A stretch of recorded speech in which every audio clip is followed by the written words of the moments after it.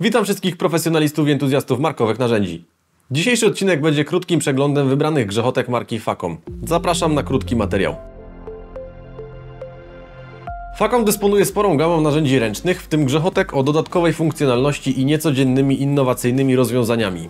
Na przykład grzechotka SXL 161PB, która jest pyłoszczelna i nie wymaga konserwacji. Posiada drobną podziałkę z 72 zębami, zapewniającą niewielki kąt pracy 5 stopni oraz uchwyt teleskopowy ustawiany w 8 pozycjach, pozwalający na regulowanie długości grzechotki od 264 mm do 397 mm.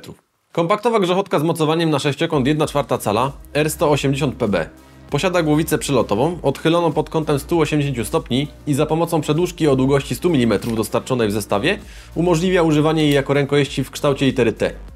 Grzechotka posiada przełącznik zmiany kierunku obrotów i drobną podziałkę z 60 zębami zapewniającą niewielki kąt pracy 6 stopni. Kolejna kompaktowa grzechotka 1,4 cala R360PB posiada obrotową dźwignię w rękojeści, która umożliwia dwukrotnie szybszą pracę w trudno dostępnych miejscach. Posiada drobną podziałkę z 60 zębami zapewniającą mały kąt pracy 6 stopni i ergonomiczny, odporny na chemikalia uchwyt nowej generacji zapewniający pewne trzymanie. Ultrakompaktowa grzechotka KL161PB jest przeznaczona do kluczy nasadowych z mocowaniem na kwadrat 3 4 cala. Posiada drobną podziałkę ze 120 zębami, która zapewnia niewielki kąt pracy wynoszący 3 stopnie. Grzechotka jest również odporna na pyły przemysłowe i nie wymaga konserwacji, a ponadto kierunek obrotów zmienia się za pomocą dźwigni z łatwą obsługą nawet w rękawicach.